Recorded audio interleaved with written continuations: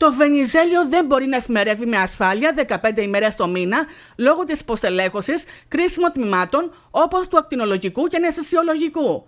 Αυτό διαμηνύουν γιατροί οι οποίοι προειδοποιούν ότι θα σταματήσουν τα τακτικά χειρουργία και τα απογευματινά ιατρία το επόμενο χρονικό διάστημα στην περίπτωση που δεν επιληθούν τα σοβαρά προβλήματα που έχουν επιδεινωθεί με φόντο και την επιδημία παρετήσεων. Δεν δουλεύουμε με ασφάλεια όταν κάνουμε υπερεργασία. Όταν ένας γιατρό δουλεύει 60, 70, 80 ώρες την εβδομάδα, αλλά αν η κατάσταση δεν ε, οδηγηθεί σε μια καλύτερη ε, δεν βελτιωθεί, θα, θα και είναι, έχει προταθεί και αυτή η λύση.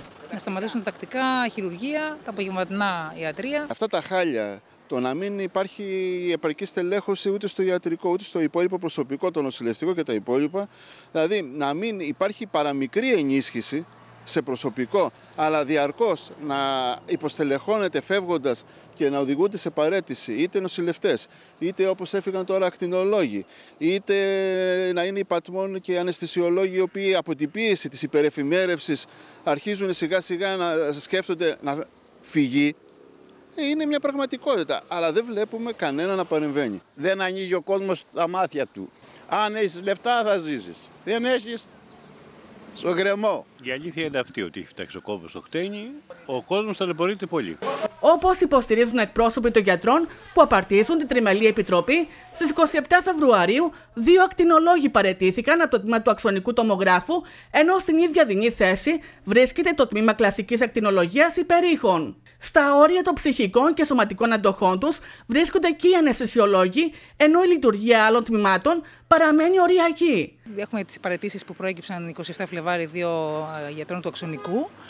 Ε, με αυτόν τον τρόπο το τμήμα αυτό βρίσκεται υποστελεχωμένο σημαντικά, όπως είναι ήδη και υποστελεχωμένο τμήμα των υπερήχων.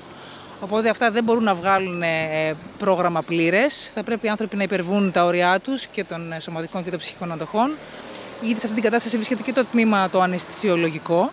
Σε ό,τι αφορά το μέτρο με τα απογευματινά χειρουργία. Διαφωνούμε κάθετα. Εδώ μιλάμε ότι δεν μπορούν να γίνουν τα πρωινά χειρουργία. Λόγω της υπερεφημέρευσης υπάρχει μια φυσιολογική κόπωση των ιατρών με αποτέλεσμα να υπάρχει μια πιθανότητα ενός λάθους. Δεν σημαίνει ότι θα γίνει. Αλλά δεν μπορείς να φτάνεις στα όρια τους στο προσωπικό. Τους ψήφισε, ο λαός τους έχει και έχουν κάνει όλα αυτά. Οι γιατροί έχουν απόλυτο δίκιο. Εγώ κάνω μια θεραπεία και έρχομαι εδώ και γίνεται θυσία πραγματικά. Θυσία γίνεται οι γιατροί.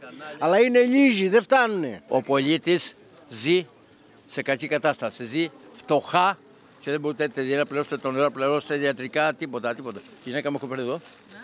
Και για να παίρνει ένα θερμόμετρο περίμενα 4,5 ώρες. Στη διάρκεια συνέλευσης γιατρών του Βενιζελίου, αποφασίστηκε όλα τα υποστελεχωμένα τμήματα να καταθέσουν για το μήνα Μάρτιο και για όσο χρειαστεί προγράμματα εφημέρευσης με βάση τις νόμιμες ώρες εφημέρευσης που δεν πρέπει να ξεπερνούν τις 48 ώρες την εβδομάδα, ενώ και τα εντέλεστε γιατροί ενδέχεται να κινηθούν νομικά. Αυτό έχει κάποια όρια νομιμότητας. Και αυτό εμείς θα ψάξουμε να δούμε λίγο νομικά τι μπορεί να γίνει, γιατί δεν είναι σίγουρο ότι μπορεί να γίνεται με τον ίδιο τρόπο να συνεχίσει να γίνεται επαόριστον. Και στο Παγνί συνεχίζεται η επιδημία παρετήσεων, καθώς σύμφωνα με πληροφορίες, μετά την παρέτηση Σαμιωτάκη από την παιδοψυχιατρική, φεύγουν άλλοι τρεις γιατροί από κρίσιμες κλινικές.